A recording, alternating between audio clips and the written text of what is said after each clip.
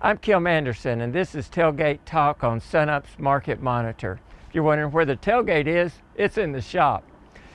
Producers are going to be top dressing wheat over the next few weeks.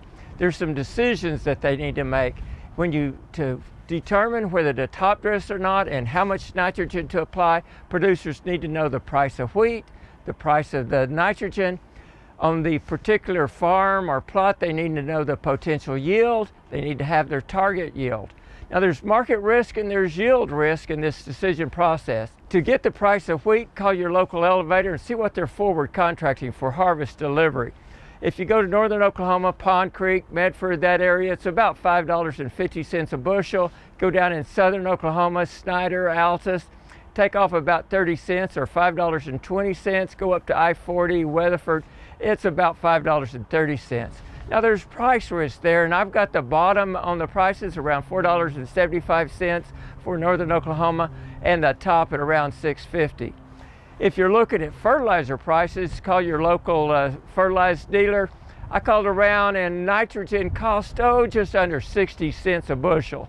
Now, Dr. Arnall tells me that the price of, uh, or that it takes about two pounds of nitrogen for each bushel of wheat. So that's about a dollar and 20 cents a bushel. So first off, you got to figure out for a field is what's the potential yield, and then do you want to top dress or not? If you're going to top dress, what's the target yield?